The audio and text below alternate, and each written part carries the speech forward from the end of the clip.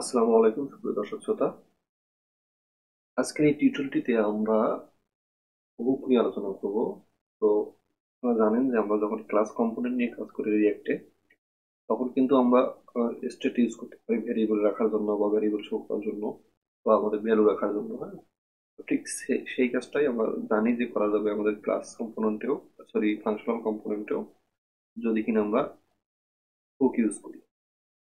কিন্তু সেটা অবশ্যই রিয়াক্টের ষোলো দশমিক আট ভার্সনের চেয়ে বেশি ভার্সন হতে হবে, ঠিক আছে? তাহলে কি বলব আমরা? হুক ইউজ করতে মানে ইউজ করতে পারব। এখানে ডিফল্ট কিছু হুক রয়েছে use effect use reduce use state এইগুলো। এগুলো দিয়ে আমরা স্টেট ইউজ করতে পারি। কিন্তু আমরা নিজেরাও চাইলে কিন্তু হুক তৈরি করতে পারি। তো আমরা সেই হুকের ইউজ স্টেটের চারটা উদাহরণ আজকে দেখব। তো আলোচনার সুবিধার্থে আমি একটি ওয়েবসাইটে নিয়ে যাচ্ছি। আপনারা সেখানে নিজেরাও দেখতে পারেন। এখানে আমাদের সিস্টেমটা হলো এরকম যে আমরা ডম প্রথমে এখানে ইম্পোর্ট করে নিলাম আর ইউজ স্টেট ইম্পোর্ট করে নিলাম। আপনারা জানেন ইউজ করার জন্য আমাদেরকে ইউজ স্টেট ইম্পোর্ট করে নিতে হবে। তারপরে এই যে ফাংশনাল কম্পোনেন্টটা আমাদের এখান থেকে শুরু হয়েছে, এটা দুটো ইনপুট নিচ্ছে, একটা টেক্সট একটা হলো ম্যাক্সিমাম লেন্থ ঠিক আছে? তো প্রথমে বলে দিই আমাদের কাজটা হবে এরকম যে আমরা যদি রিড মোডে ক্লিক করি সবগুলো আমাদের স্ট্রিং দেখা যাবে। আর যদি রিডলেসে ক্লিক করতে হলে অল্প দেখা যাবে, ঠিক আছে? এটা কীভাবে হচ্ছে? তো মূলত এখানে স্টেটের মধ্যে আমরা প্রথমে হিডেন নামে একটা ভ্যারিয়েবলের মধ্যে টু করে দিচ্ছি, ঠিক আছে? আর সেট হিডেন এটা তো জানেন যে এখানে হিডেনকে সেট করার জন্য। ওটা এখানে যে কোনো ভ্যারিয়েবল দিতে পারি।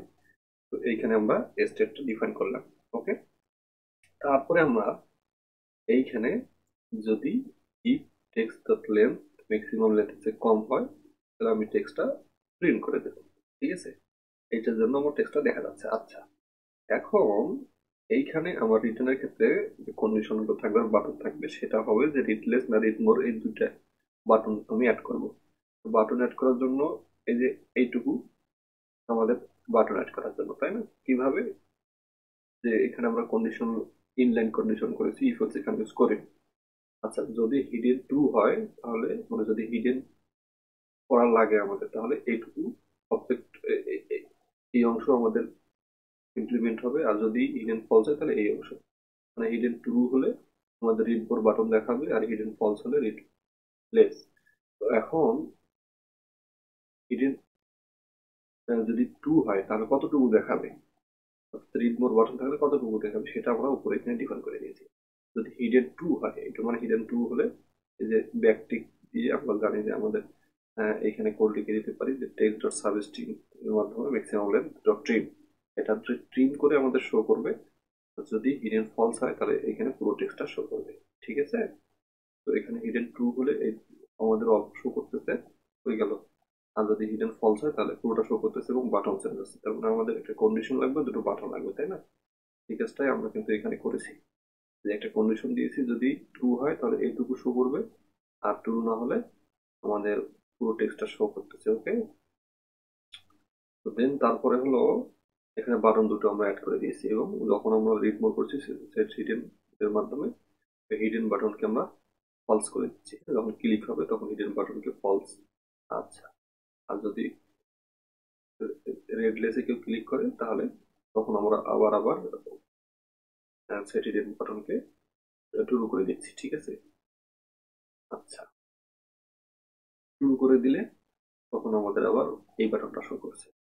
এইভাবে করে অল্টারনেটিভ চেঞ্জ হচ্ছে এবং পরবর্তীতে আমরা রেন্ডার করে দিয়েছি এবং এখানে সেই টেক্সটটা আমরা আর আর্গুমেন্টগুলো এখানে করে দিয়েছি হ্যাঁ।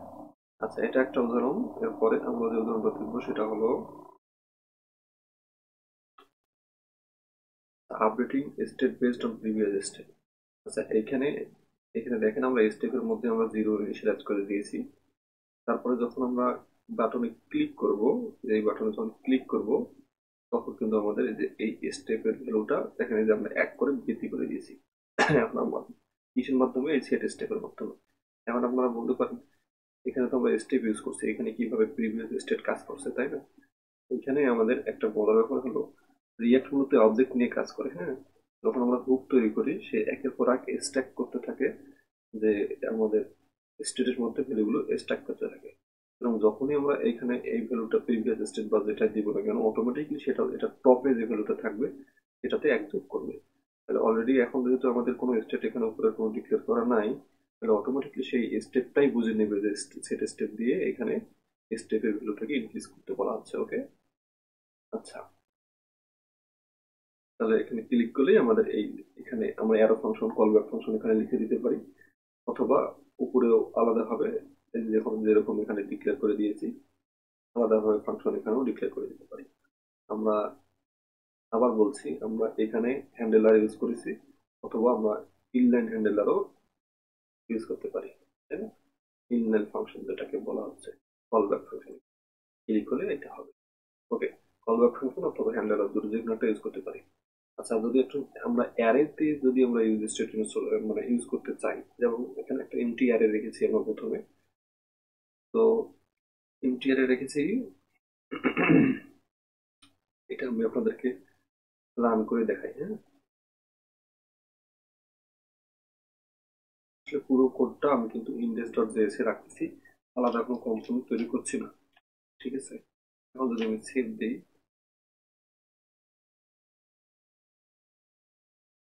আছে use state is not defined তো উপরের আমাদের ওই যে ইয়েগুলো করা হয় ইউজ স্টেটের জন্য যেগুলো এই দুই লাইন এই দুই লাইন আমি অ্যাড করে দিই তাই না ইম্পোর্ট করতে হবে এবং ফাংশন কম্পোনেন্টে হোক আর আমাদের ক্লাস কম্পোনেন্ট হোক আমাদেরকে অবশ্যই এগুলো ইম্পোর্ট করে নিতে হবে। কাজ করার কথা, তাই না? আচ্ছা কাজ করছে, কিন্তু এখানে কিছু কিওয়ার্ড ইউজ করা হয়নি, সেগুলো দেখা যাই হোক। আমরা যদি এখানে যাই।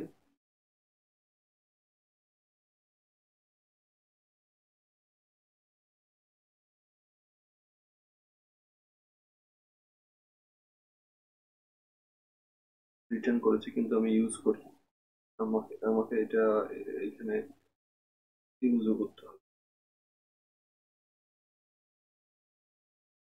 রেন্ডার করা হয়নি, ঠিক আছে? রিটার্ন করছি, কিন্তু পরে এটাকে রেন্ডার করা হয়নি। তাহলে আমি রেন্ডার করার জন্য কি করব?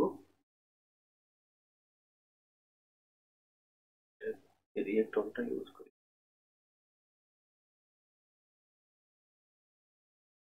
এই জন্য এখানে এখানে উদাহরণে দেখা ভালো। আচ্ছা এইগুলো আমার কোনো ইয়ে নেবে না।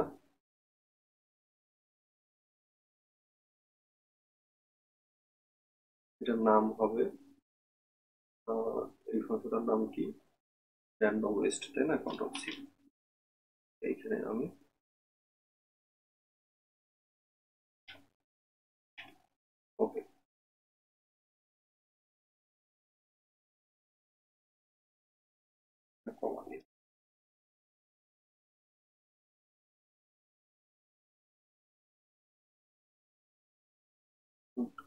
কম্পাইল হয়েছে আমরা যদি এখানে একটু দেখি। অ্যাড নাম্বার আমি ক্লিক যদি করি একটা নাম্বার অ্যাড হচ্ছে, আবার ক্লিক করলে আবার একটা র্যান্ডম নাম্বার ক্লিক অ্যাড হচ্ছে, ঠিক আছে? এই এটা স্টেট কিন্তু আমার বারবার অ্যাড করছে। কীভাবে অ্যাড করছে? আমি এখান থেকেই দেখাই আপনাদেরকে। এটা হলো, যখনই আমরা বাটনে ক্লিক করছি, এটা কি করছে? ইনক্রিমেন্ট একটা হ্যান্ডেলার কল করছে। ইনক্রিমেন্ট হ্যান্ডেলার কি করছে? প্রিভিয়াস স্টেটের সাথে এক যোগ করছে। ঠিক আছে? প্রিভিয়াস স্টেটের সাথে এক যোগ করছে কীভাবে? এই যে আমার র্যান্ডমলি এখানে যত আগে থাকতেছে, তার সাথে এক যোগ করে করে আমার ভ্যালুটা বৃদ্ধি করছে, তাই না? ওই যে এখানে ছিল স্টেপ ট্রাসার এটা আমরা পুরোটা কপি করলে অবশ্যই এখান থেকে হয়ে যেত। ওকে যাই হোক, আমরা করে ফেলেছি আমাদের মাধ্যমে। এক এক করে প্রত্যেকবারে বৃদ্ধি হচ্ছে, তাই না? ইনক্রিমেন্ট হচ্ছে। প্রিভিয়াস ভ্যালুর সাথে এক যোগ হচ্ছে। প্রিভিয়াস ভ্যালু যতই থাক কই গেল প্রিভিয়াস ভ্যালু যতই থাক, তার সাথে একটা একটা করে এলিমেন্ট যুক্ত হচ্ছে মানে ইন্ডেক্স যুক্ত হচ্ছে ভ্যালু না?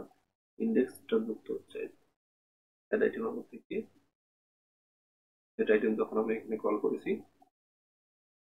তখন কি করেছে? এই যে এইটা মানে কি এটা মানে হলো আগের যত যে কয়টা অ্যারের মধ্যে লিস্টের মধ্যে যে ভ্যালুগুলো থাকছে, এটা পুরো ভ্যালুটা থাকতেছেই। তার সাথে কমা দিয়ে দিয়েছি মানে নতুন একটা অবজেক্ট তৈরি করছে।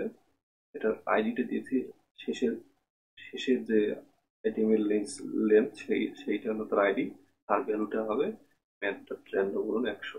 ঠিক আছে? র্যান্ডমলি ভ্যালুটা তৈরি হচ্ছে, তার সাথে একশো গুণ করে এটা আমার লিস্টের শেষে মানে অ্যাপেন্ড করে দিচ্ছে। প্রিপেন্ড করা অ্যাপেন্ড করা অ্যাপেন্ড করে দিচ্ছে আর কি।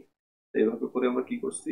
প্রথম initial empty empty empty list নিচ্ছি এবং পরে সেই লিস্টের মধ্যে আমরা আগের লিস্টকে কপি করছি। এই যে, এটা মনে জানেন আপনারা আগের কপি করে, এটা একটা ভালো নাম আছে। নামটা আমি আপনাদেরকে এখান থেকে বলছি। অনেক ব্যাখ্যায় আছে ঠিক আছে?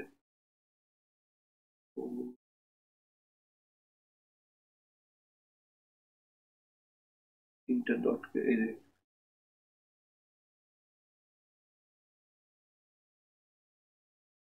ডট কি যেন নাম বলা হয় মানে পুরোপুরি কপি করা, আগে আর লিস্টকে কপি করা হয়।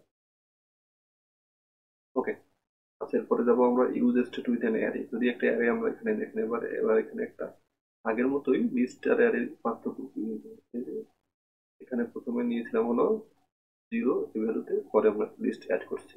এখানে এবার আমরা সরাসরি অ্যারে নিয়ে কাজ করব। তাই না? কীভাবে? এখানেও ঠিক সেম সিস্টেম আমার মনে হয় আমরা করে অ্যারেটাই কপি করে নিয়েছি, তাই না?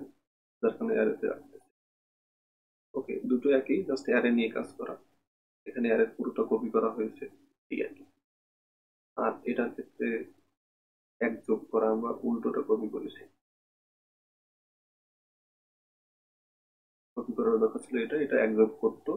আর ওটা এর মধ্যে একটা করে র্যান্ডম নাম্বার যোগ করতো ঠিক আছে? এটা এক যোগ করাটাও আমরা একটু দেখে নিই।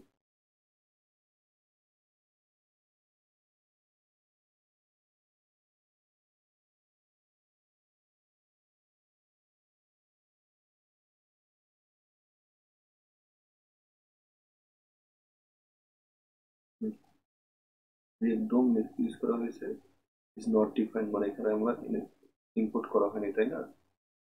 মানে ইনপুট করে নিতে হবে। আমরা যদি সরাসরি ওই যে কোড স্নিপেট ইউজ করতাম, তাহলে কিন্তু আমাদের এই এগুলো অটোমেটিকলি চলে আসতো। মানে ওয়েব স্ট্রম যেটাকে বলে ওয়েব স্ট্রম নামে যে আইডিটা রয়েছে জাভা স্ক্রিপ্টের জন্য, কি দেখাচ্ছে?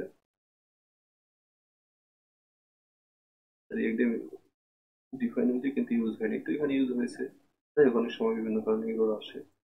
যদি আমরা যাই আমি যত যোগ করব তত এক এক করে বৃদ্ধি হচ্ছে। কেন বৃদ্ধি হচ্ছে? কারণ হলো, আমাদের এই প্রিভিয়াস আগে যেটা আমি ব্যাখ্যা দিলাম যে এখানে স্ট্যাকের মতো করে শেষে, শেষের আইডিটা আমি প্রিভিয়াস স্টেপ কিন্তু এখানে কোথাও বলা নাই স্টেপ লেখা আছে, ঠিক আছে? কিন্তু অটোমেটিকলি সে প্রিভিয়াস স্টেপটা নিচ্ছে হলো, এখানে যে আমরা লিস্টটা তৈরি করতেছি, এই লিস্টের শেষের ইন্ডেক্সটা শেষের ইন্ডেক্সের ভ্যালুটা এক এক করে ভর্তি করতেছি, ঠিক আছে? এটা আচ্ছা। তো আর এর পরেরটাও আমি অলরেডি দেখিয়ে ফেলেছি যে অ্যারে অ্যারে নিয়ে কাজ করার ক্ষেত্রে আমরা পুরো অ্যারেটা এখানে কপি করতেছিলাম ফাংশনটা হয়েছিল এই যে সেট সেট আইটেমটা কি গেল? এটা মূলত ফাংশন এটা কি? এটা ফাংশন এটা ভ্যালু এটা ফাংশন পুরো অ্যারেটা কপি করে নিচ্ছি সেখানে শেষের ইন্ডেক্সে একটা করে র্যান্ডম নাম্বার একশো দ্বারা গুণ করে যোগ করে দিচ্ছি। এবার শেষেরটা হলো multiple calls to use step কীভাবে মাল্টিপল কল করা যায়? দেখেন, আমরা কিন্তু এখানে একটা জিনিস ব্যাখ্যা আপনার করলেই পাবেন সেটা হলো মূলত যতবার চার পাঁচবার যতবার চাই আমরা ইউজ স্টেট ইউজ করতে পারি, ঠিক আছে? এবং সেটাকে সাপোর্ট করে হলো আমাদের হলো রিয়াক্ট এরকম আমি এখানে ইউজার নেম আর এখানে পাসওয়ার্ড রাখতেছি। প্রথমে এমটি পরে যখন আমি ইনপুট ফিল্ডের মাধ্যমে ইউজার নেম পাসওয়ার্ড ইনপুট দিচ্ছি দিয়ে সাবমিটে ক্লিক করছি, তখন কি হচ্ছে? যে অন চেঞ্জের প্রথমেই চেঞ্জ হওয়ার ক্ষেত্রে সময় সময় আমি অন চেঞ্জেই মধ্যেই সেট ইউজার নেম নামে এই ইভেন্ট আর টার্গেটেড ভ্যালু এটা কিন্তু ইউজার নেমের ভ্যালুটা পাঠিয়ে দিচ্ছি, ঠিক আছে? এই নাম আর এইখানে যে নামগুলো ইউজ করছি, দুটো হতে আচ্ছা এখন দেখেন চেঞ্জের ক্ষেত্রে আমার এখানে ফল ব্যাক ফাংশন ইউজ করেছি আমি। ওটা সরাসরি ইভেন্টের টার্গেট অফ ভ্যালু ঠিক আছে? এখানে ভ্যালুটা আমার সেট ইউজার নেমে সেট হয়ে যাচ্ছে। আবার এখানেও সেট পাসওয়ার্ডের ভ্যালুটা আমার সেট হয়ে যাচ্ছে। আচ্ছা দেন হচ্ছে কি, যখন আমি সাবমিটে ক্লিক করছি, তখন এটা যে ফাংশন কল করছে, সেটা যেখানে বলে যাচ্ছে প্রিন্ট ভ্যালু ভ্যালুগুলোকে প্রিন্ট করব কীভাবে? একটা ইভেন্ট নিয়েছি ডিফল্টটা ইভেন্ট ডিফল্ট করেছি। কেন ডিফল্ট করেছি?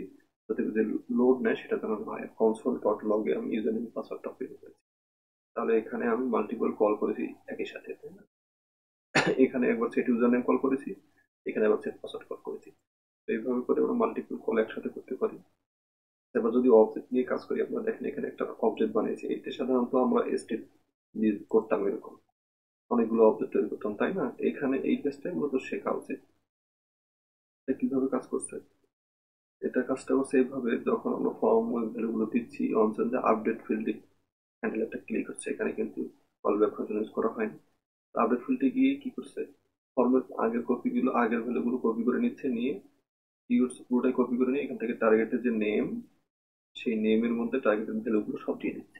তো অটোমেটিকলি সেই টার্গেটের নেমের সাথে যে ইউজার নেম পাসওয়ার্ড যেটা মিলবে, দেখেন এখানে কিন্তু নেম কিন্তু ইউজার নেম দেওয়া আছে পাসওয়ার্ড কিন্তু পাসওয়ার্ড দেওয়া আছে, ঠিক আছে? এই ইউজার নেম আর পাসওয়ার্ড কীভাবে এইখানে গিয়ে সেট হয়ে যাবে? আচ্ছা তারপর যখন আমি সাবমিট ক্লিক করব প্রিন্ট ভ্যালুতে গিয়ে, কি করবে? প্রিন্ট ভ্যালুতে গিয়ে এই যেন ফর্ম ডট ইউজার নেম এই কথাটা লিখতে হবে। Form dot user name form dot password মূলত ফাংশনাল কম্পোনেন্টের ডিসের ব্যবহার না থাকায় আমাদের এই ওয়েগুলো ফলো করতে হচ্ছে ওকে ইভেন্ট পাস পাস করতে হচ্ছে। তারপরে হলো ফর্ম ডট পাসওয়ার্ড বা ফর্ম ডট ইউজার নেম এই দুটো কিওয়ার্ড ইউজ করতে হচ্ছে। যাই হোক, এটাই ছিল খাস এই টিউটোরিয়ালে যে ইউজ স্টেটের চারটা ব্যবহার। খুবই সুন্দর ব্যবহার, এগুলো চর্চা করলে আমাদের কিছু শিখতে পারি। আমাদেরকে জানতে হবে কেন যে কারণ অনেকেই অনেক সময় অনেকের সাথে প্রজেক্ট করতে অনেকেই আগে যারা আগে যারা কোডার বা প্রোগ্রামার তারা যদি এরকম শুধু ফাংশনাল কম্পোনেন্টে ইউজ স্টেট এগুলো ইউজ করে, তাহলে কিন্তু আমাদের বুঝতে অসুবিধা হবে। ঠিক আছে? তো আমি একটু দেখি আমার ভিডিও হচ্ছে কিনা এতক্ষণ হয়েছে। তো এইটা আমি লিঙ্কে দিয়ে দিতে পারি আপনার ডেভ এটার নাম হলো ডেভে সিডিয়া দেখো কোনার নাম কি খুব ভালো উদাহরণ দিয়েছেন, এখানে চারটা ঠিক আছে।